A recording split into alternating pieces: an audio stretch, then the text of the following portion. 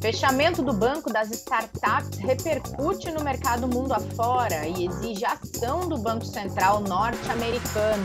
Vem que esse é o principal assunto do Investidor em Foco de hoje, que está começando. Bem-vindas e bem-vindos a esse episódio para a gente falar de mercado, cenário econômico e de assunto sério que tem impactado mercados globais. E por isso já vou convidar aqui a Sabrina Lima, nossa especialista em recomendação e portfólio, para contar um pouquinho dessa história para a gente. Sabrina, como está você? Bem-vinda. Muito obrigada, Rê. Estou ótima, aqui munida de uma série de informações para trazer o pessoal sobre essa semana, fatos bastante importantes acontecendo no mercado. Então, novamente, obrigada pelo convite. Vamos juntas. Vamos nessa então. E começando, claro, com o grande assunto da semana no cenário econômico, que é a crise que levou ao fechamento do Silicon Valley Bank, o banco das startups, na última sexta-feira nos Estados Unidos.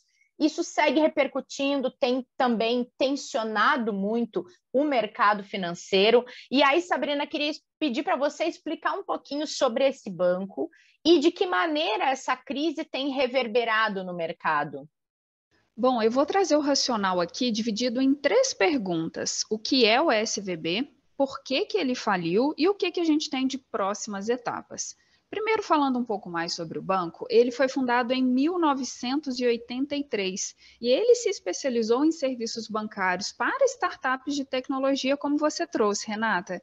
Uhum. Ele forneceu financiamento para quase metade das empresas americanas de tecnologia, embora relativamente desconhecido fora do Vale do Silício. O SVB estava entre os 20 maiores bancos comerciais americanos, com 209 bilhões de dólares, cerca de um trilhão de reais em ativos totais no final do ano passado, de acordo com a Corporação Federal de Seguro de Depósito dos Estados Unidos.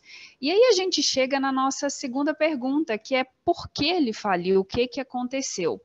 Em suma, pessoal, o SVB encontrou uma clássica corrida ao banco. Então, várias forças acabaram colidindo para o acontecido, Primeiro, a gente precisa trazer um pouco do cenário macro. Então, houve o próprio Banco Central Americano, o Fed, que começou há algum tempo a aumentar as taxas de juros, há cerca de um ano aproximadamente, para buscar domar a inflação.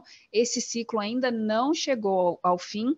E o Fed ele tem agido de forma dura e a gente sabe que esses juros mais elevados acabam impactando os bancos. Então, o custo de empréstimos fica mais alto. Então, isso acaba fazendo com que algumas empresas de startup ou de tecnologia também, sentissem alguns impactos nesse sentido.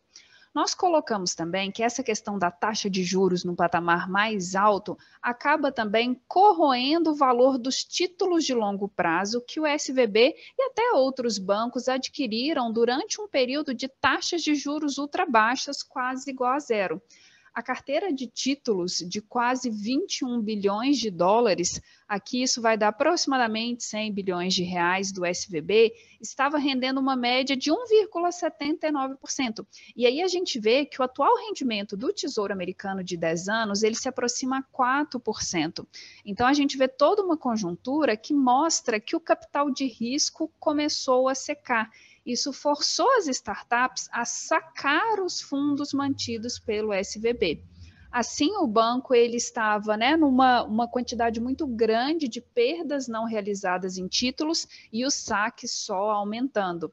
E na linha do tempo, quando a gente olha um pouquinho para a semana passada, na quarta-feira, o SVB ele anunciou que havia vendido vários desses títulos já com prejuízo e que também venderia mais de 2 bilhões de dólares em novas ações para reforçar o seu balanço acaba que essa notícia teve um viés negativo no mercado, acabou desencadeando um pouco de pânico entre as principais empresas de capital de risco e, novamente, o fluxo de saque foi só aumentando. Então, a gente vai vendo um ciclo acontecendo, as ações do banco começaram a despencar na semana passada, e isso fez com que, durante os últimos pregões em Nova York, acabasse puxando também outros bancos para queda, justamente porque os investidores começaram a temer uma repetição da crise financeira de 2007 2008.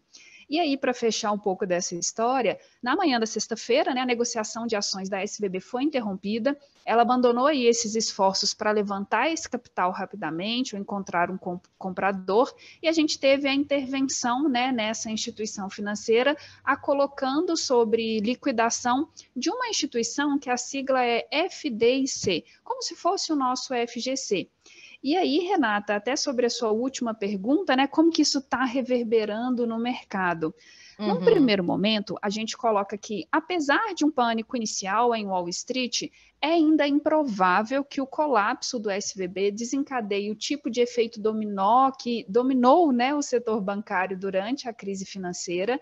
Embora esse contágio mais amplo seja improvável, isso não quer dizer que não tem efeitos, bancos menores né, acabam sendo acompanhados mais de perto nesse momento, eles podem se enfrentar dificuldades, mas é um assunto que está realmente muito quente esses últimos dias e o investidor ele fica preocupado né, nas implicações. Então, a gente sabe isso. Então, não, não é da mesma magnitude que a crise de 2008, mas ainda carece de atenção e acompanhamento, né, pela parte, pela nossa parte, pela parte dos investidores também. Perfeito. E aproveitando que você tocou no ponto dos investidores, quem tinha dinheiro nesse banco vai conseguir reaver os valores? Esse órgão que você mencionou que equivale ao nosso FGC vai pagar o que essas pessoas tinham lá? Vai, vai pagar sim. É, naturalmente, as instituições americanas elas se movimentaram muito rapidamente sobre esse caso. Uhum. Então, para ilustrar um pouco disso, as garantias da Casa Branca e da secretária do Tesouro, a Janet Yellen, de que o sistema bancário em geral é sólido, acabam trazendo um pouco mais de credibilidade, né? Então, o próprio presidente, o Joe Biden, ele também prometeu fazer o que for necessário para enfrentar essa crise bancária o Biden disse que a ação rápida do seu governo, né, no último fim de semana, deve dar aos americanos a confiança de que o sistema bancário dos Estados Unidos é seguro. Ele acrescentou que pedirá ao Congresso e aos reguladores que fortaleçam as regras bancárias. E aqui eu vou até abrir aspas: o Biden trouxe o seguinte os americanos podem ter certeza que o sistema bancário é seguro, seus depósitos estarão lá quando precisarem deles, fecha aspas aqui. Então, o governo norte-americano ele garantiu que os clientes do SVB terão acesso ao dinheiro de todos os depósitos já a partir dessa semana e segundo o Fed, né, o Banco Central dos Estados Unidos, o Departamento de Tesouro e aquela instituição, FDIC, a ideia é proteger a economia, então sim, o banco vai conseguir né, pagar esses valores para os investidores aí. Então é um ponto positivo que a gente tem. Sim, a imprensa tem destacado a agilidade do Fed na atuação logo que é, veio à tona o fechamento do, do banco. E hoje, uh, desculpa, nessa segunda-feira, o Fed teve uma nova reunião para fazer essa análise de cenário e de risco de impacto no sistema bancário americano, que você já comentou um pouco, né, Sabrina? Sim, isso mesmo. É, houve uma reunião extraordinária, então, no início dessa semana. O tom foi o de buscar amenizar as preocupações do público, insistindo né, que o sistema bancário dos Estados Unidos, em geral, está mais resiliente agora, porque, inevitavelmente, são feitos muitos paralelos em relação a 2008 e a gente tem também, assim, que durante todo o final de semana, a Janet Yellen, ela procurou ser uma voz mais calma, tentando simultaneamente evitar que a situação saísse do controle, tanto na sua dimensão econômica quanto na sua dimensão política. Então, o que a gente vê é que realmente o Fed tem atuado de forma bastante firme, de forma bastante rápida, e essa reunião do início da semana trouxe novamente um pouco desse tom um tom um pouco mais de tranquilidade, um pouco da solidez né, do, da instituição como um todo, do cenário de, de, mercado americano como um todo. Então, apesar né, da gente ver os impactos no sistema bancário, essa reunião acabou acalmando um pouco os investidores também. Perfeito. Ainda em território americano, saem dados de inflação nessa terça-feira nos Estados Unidos e é importante acompanhar, já que tem sido tão questionada essa política de alta de juros que o Fed adotou, né? Exato, isso mesmo. O ponto alto da agenda de indicadores nos Estados Unidos é a divulgação do Índice de Preços ao Consumidor, o CPI, na sigla em inglês. É previsto né, para hoje, terça-feira, e o consenso prevê que o índice de fevereiro deve registrar um avanço de 0,4% sobre janeiro. Esse é um dado realmente de destaque para a próxima decisão de juros do Fed, o Banco Central dos Estados Unidos. A próxima reunião da autoridade monetária está prevista para 21 e 22 de março. Então, em breve saberemos se o CPI veio em linha com o esperado e como essa nova informação movimentará o mercado.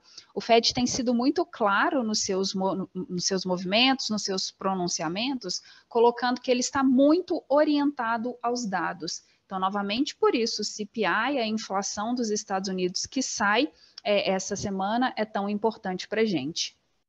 Perfeito.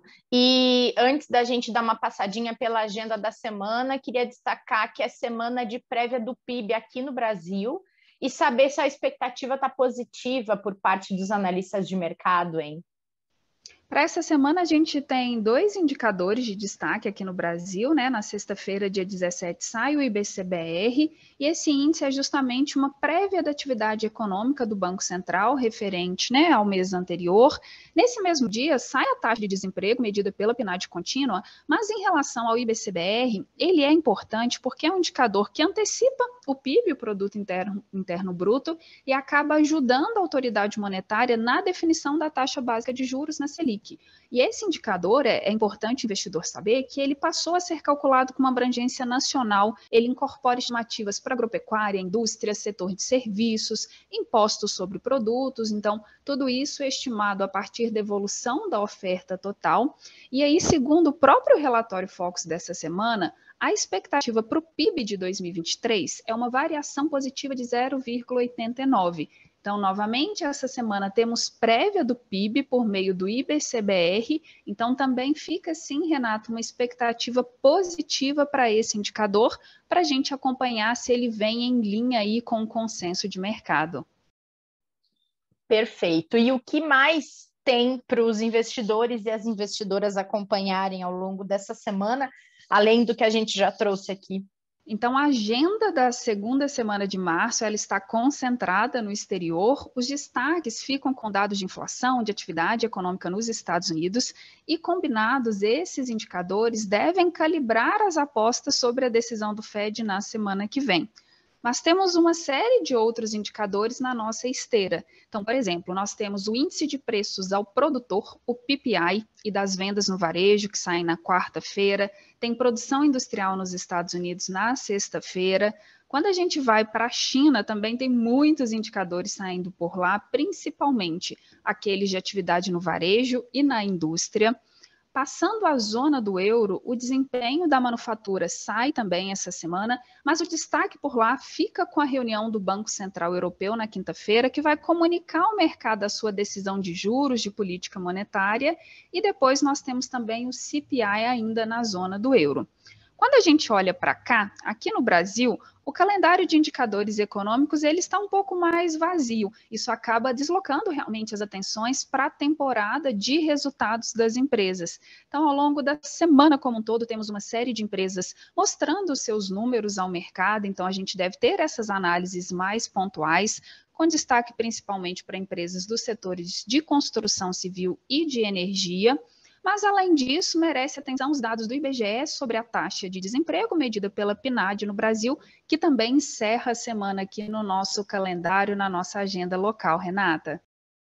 Perfeito, Sabrina. Assunto não falta e atenção redobrada aí de quem tem investimentos e se interessa pelo mercado a esses principais pontos que você trouxe.